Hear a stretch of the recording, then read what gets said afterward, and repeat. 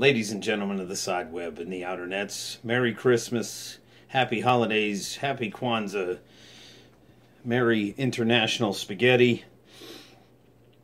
So I figured since I've got to be at church in just about an hour, I'm going to show you how to tie the correct knot. And that would be the double Windsor. Okay, so all I'm saying is this is a easier way to tie. Uh, you look much nicer. If the politicians knew how much less shisty they looked by tying a nice, even-sided knot. All right, so you take the tie here, and the most important thing you got to do for the Windsor is know you need an extra lot more than you would for your typical single Windsor knot. Okay, so you go one, two, three and a half. Okay, that's about what I do. Sometimes that's not enough, but we'll see. It's a nice long tie. Anyway, you come around like that. I'm going to go fast and then I'll take it slow. Then you come around behind and you come back around and you go around the front and you come around the back. Okay? So you already got it nice. And this is how you check. It should stop right about your belt. Don't listen to people that say you should leave one buttonhole. Pull. Anyway, you pull it down. You do it like this. And you tighten it up.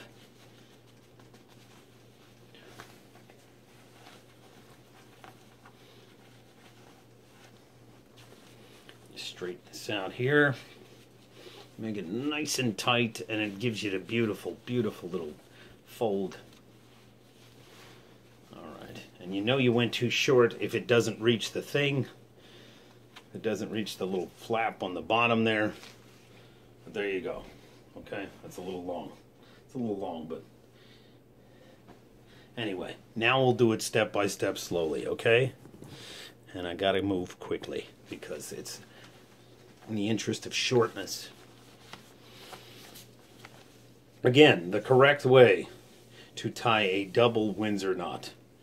We'll go a little lower this time because that was a little bit high. So we'll go one, two, three, and we'll go all the way to four this time. Fourth button. All right. So I'll go slower. Take the, the longer end, come around the front. Around the front, make your first loop. It's a nice strong grip here, switch hands, all right? Around, under the back, through the middle. Pull it out, you got your first loop, okay? So you come around the back, cross the other side, bring it out the front, tuck it down, you have your second loop. One loop, one loop. That's a double knot, okay? Now you're left on this side. You bring it across, covering both, come around underneath everything, bring it up, and there you go. The only thing missing is you just double check. See, we're a little bit higher this time. So, all you do at this point is you take this, stick it inside your loops, and then here's the real trick, okay? First of all, you see how nice and neat that is? It's even-handed, even-sided. All right, now this is the thing. You just level it out and tighten it up. Tighten it up. Tighten it up. And it gives you a nice little fold at the top. Pull it down. Tighten it up. And it gives you a nice little fold. Then, when you're ready to slide up, you just put your thumb on the back, poke it around, and there you go.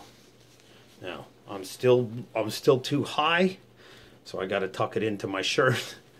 But you got a nice, just try to make sure it's not beveled there flip the collar down.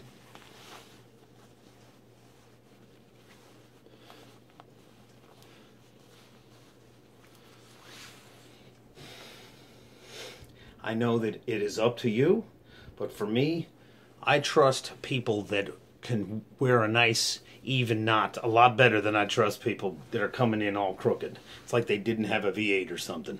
Merry Christmas, Happy Spaghetti. Midnight Mass 2017. Merry Christmas.